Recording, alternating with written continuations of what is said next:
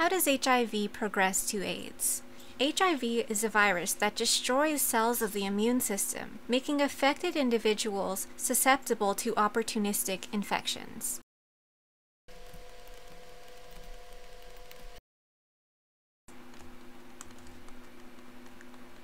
These are infections that a person with a healthy, normal immune system wouldn't get because the immune system is able to fight them off. However, if someone has HIV and the virus kills off a lot of the immune system, then that person would be susceptible to these infections. Here's a way that I remember what the word opportunistic means. An opportunist is somebody who takes advantage of opportunities to help themselves, even if it comes at the expense of somebody else. For example, let's say you're at the public library and you use one of the computers there, but when you leave, you forget to log out of your Facebook account. If the next person who uses that computer is an opportunist, then he might take that opportunity to look at your private information or even post some embarrassing things on your page. And the reason why he's able to do that is because your security system is down.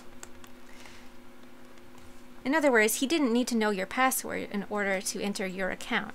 HIV works in a very similar way. If the security system preventing microorganisms from causing disease is down because HIV killed off part of the immune system, then those bugs can take the opportunity to infect.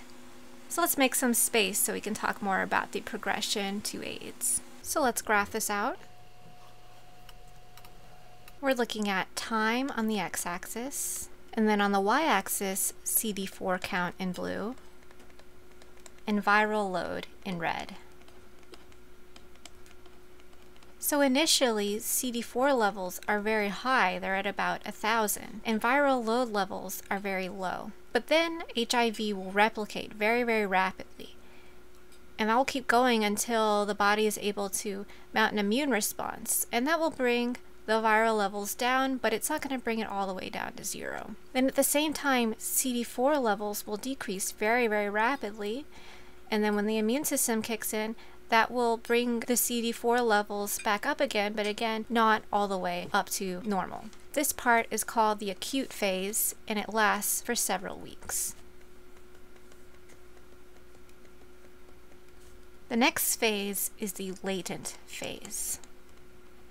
It's called latent because HIV is in the patient's body, but it's not causing any symptoms yet. HIV continues to reproduce, but not as quickly as before because there aren't as many host cells to support it. So viral load goes up, but not as quickly as before. And then at the same time, CD4 levels go down, but again, not as quickly as before.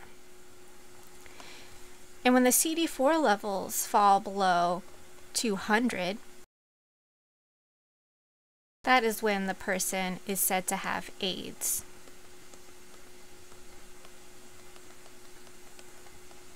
And at this point, the viral and at this point the viral load will increase much much more rapidly. And the first thing we'll see are constitutional symptoms. Constitutional. And these are vague, nonspecific symptoms such as fever or weight loss or fatigue. And then the patient will become highly susceptible to opportunistic infections. At this stage, it is very important for the patient to avoid anything that might increase their risk of getting an infection because with such a low CD4 count, it will be very hard for the patient to be able to fight off infections. This is why many people with AIDS die from infections that normally don't affect people with healthy immune systems. A few examples are CMV or PJP. Here are a couple important points to take away from this. Early on, when the patient doesn't have very many copies of the virus, a blood test for HIV might not detect the virus. That doesn't mean that the patient doesn't have HIV. They are still developing the disease, and they can still pass it on through sexual contact or contact with the blood. Second, it takes years for a person infected with HIV to develop AIDS. If the infection is caught early and is treated aggressively with antiretroviral therapy, also known as HAART, and I'll write that down here, HAART, then the viral load can stay low and the CD4 count won't decrease as much. That's why it's necessary for individuals with HIV to start treatment right away.